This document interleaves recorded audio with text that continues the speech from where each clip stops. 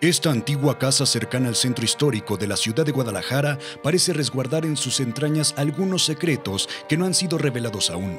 Los antiguos propietarios aparentemente no han mostrado interés por la finca desde hace algunos años, pues a decir de los vecinos, ellos mismos fueron quienes decidieron bloquear los accesos a la propiedad en cuestión debido a que era el refugio de vagos y malandros que se mantenían por días para drogarse y vandalizar la casa.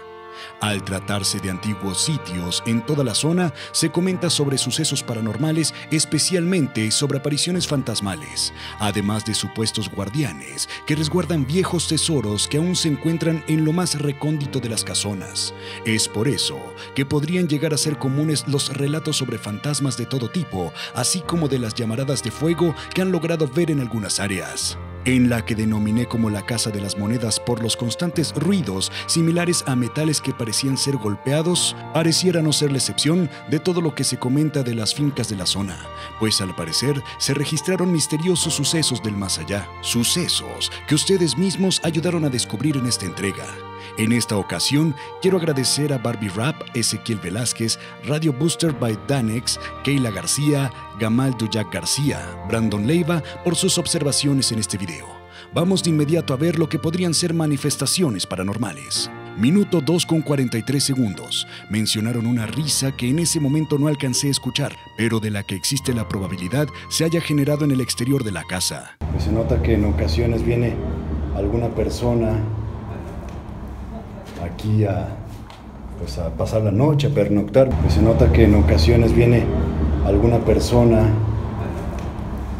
aquí a, pues a pasar la noche, a pernoctar. Algo verdaderamente estremecedor ocurre en el minuto 3 con 19 segundos. Observa con atención el reflejo de mis lentes. Pareciera formarse una niña con una especie de bata blanca como las que se usaban antiguamente algo que no deja de inquietarme, pues me resulta difícil imaginar que pueda tratarse de una pareidolia, de algo en la pared que se asemeja a esta imagen. Y de que me da la impresión,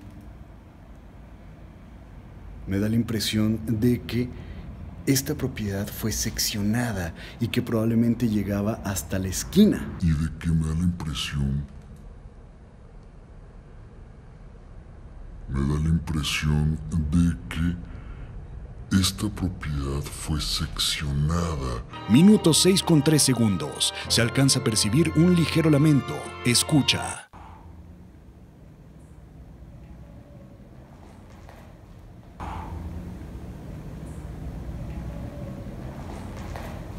Siete con 57.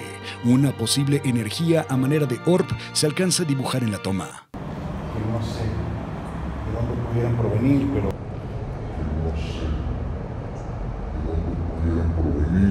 8 con 13. Justo antes de escucharse el motor de un automóvil, parece la voz de un menor.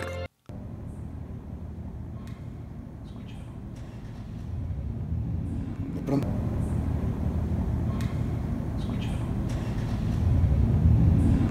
9 con 48. El sonido de las monedas parece ser más claro que en otras partes de la investigación. Monedas, nuevamente, monedas. Monedas, nuevamente, monedas. Minuto 12 con 5 segundos. Mientras menciono que voy a tomar la grabadora de audio, pareciera escucharse un grito que se queja diciendo ¡ay! Voy a tomar la, la grabadora de audio que está por aquí y voy a comenzar a...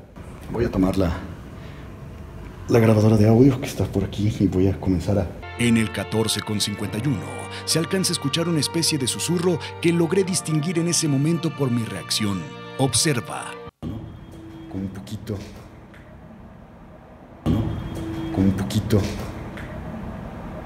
En el minuto 18 con 47 segundos se alcanza a escuchar el ruido de una carroza antigua pasando tal como las que supuestamente se escuchan en muchos sitios cuando dicen que la muerte se encuentra rondando cerca. Ah, cabrón, escucho una carreta.